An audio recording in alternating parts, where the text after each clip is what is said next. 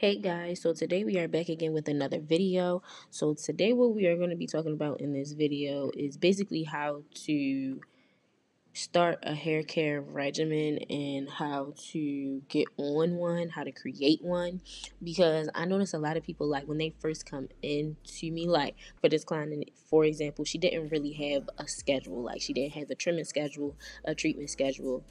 Most of the time it's just like we going to go with God and if you really have hair care goals that you want to achieve and that you want to progress with basically and get length retention, you really need to be on a consistent schedule at least for your routine trims and treatments and know what you're doing at home. Because yes we can do what we do in the salon but if you're not doing what you need to do at home and you're not really consistent then it's not really like we can only do so much basically. Like it has to be kept up at home.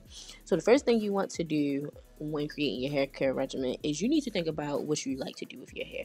Things that's an absolute no for you, things that you are comfortable with doing, and things that you do not mind doing in your favorite hairstyles because this is really going to play a part like because if you like braids majority of the time that's going to play a part in you know what's happening with your edges when you get trims and treatments because you have to wait a little bit longer when you have specific kinds of braids. And then if you like to wear your hair out, you have to figure out if you're comfortable, like, okay, well, if I'm wearing my hair out and I'm getting my hair straightened every month, I need to be okay with the possibility of maybe, possibly, if I'm doing that for years on end, my natural, me not having my natural curls. Me personally, I don't really particularly care about my natural curl pattern being completely tight for the simple fact that I prefer wearing my hair straight or I prefer my hair in a weave. So that doesn't really come into play. Like, I don't really care about that.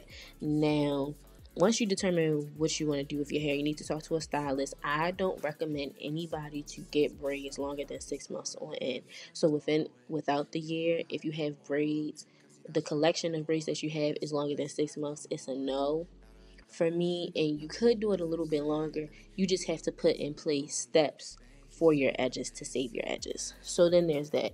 Afterwards, after you do that and you determine like the kind of styles and stuff that you want to be wearing, how long you want to be wearing them, like braids, knotless braids, your presses, your weaves, and stuff like that, you need to make sure that you go ahead and determine the porosity of your hair.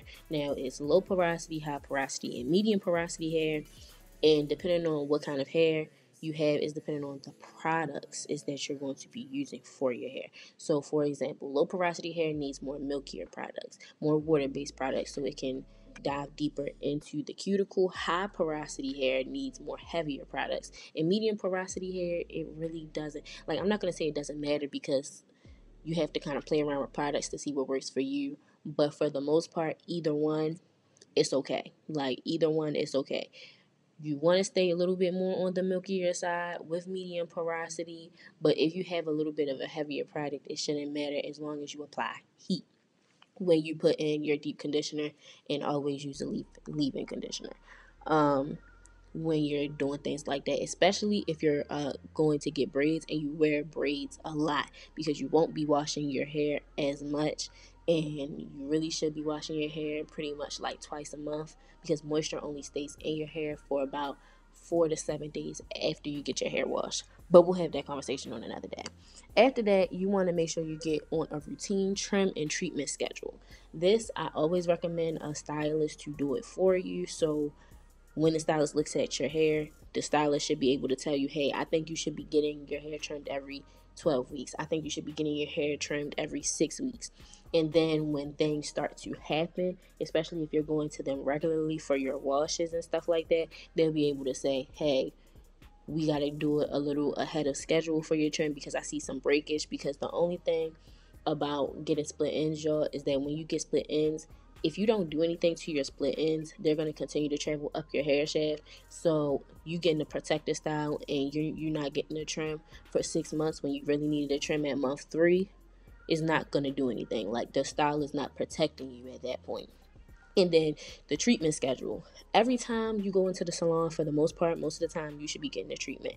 I recommend my clients to get a moisture treatment at least twice a month if they're washing their hair that often, and then a protein treatment once a month.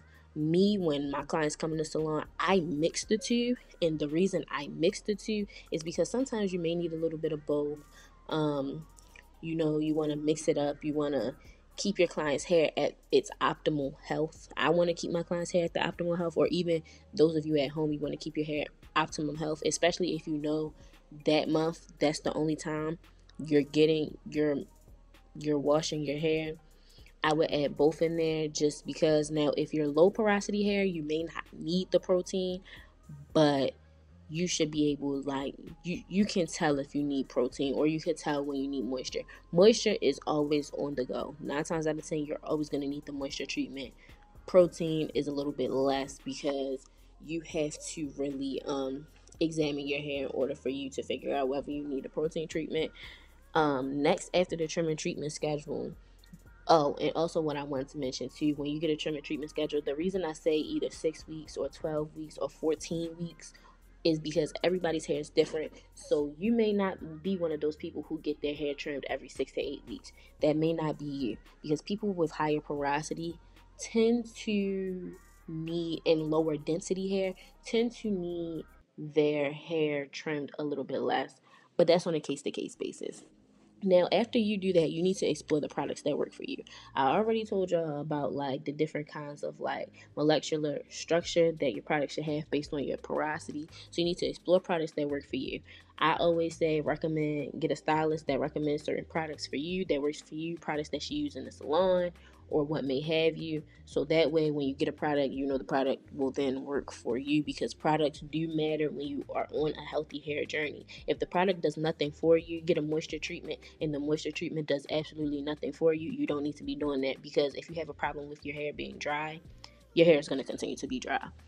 After that, I recommend everybody get their blood work done because a lot of hair problems people don't know tend to come from well, some of them tend to come from you having a vitamin deficiency, an iron deficiency, your stress levels being high, things of that nature that maybe as a stylist I may not be able to catch. You don't have enough protein in your diet or whatever, and that has an effect on your hair as well. So if you're not having enough iron, you need iron for your blood, of course, and blood you need for your follicles because that's how your hair grows. So if you're not getting enough blood to your follicles, if you're not getting enough blood in your in your body, you're definitely not getting enough blood to your hair follicles. So you probably need like an iron supplement or a vitamin supplement or whatever, hair, skin, and nail vitamins, things of that nature, so you can combat that. Next is stay consistent. You want to stay as consistent as possible when you are on a hair journey. This is because consistency matters. Cause I can't stress enough how much consistency matters, y'all if you are not consistent, you are not going to see consistent results. You are not going to see length retention in any way, shape, or form. Like you may see a little bit, but every time you go to salon, if you go to the salon, maybe let's say twice a year, you're not going to get as much length retention, especially if you're one of those people who need their hair trimmed more often.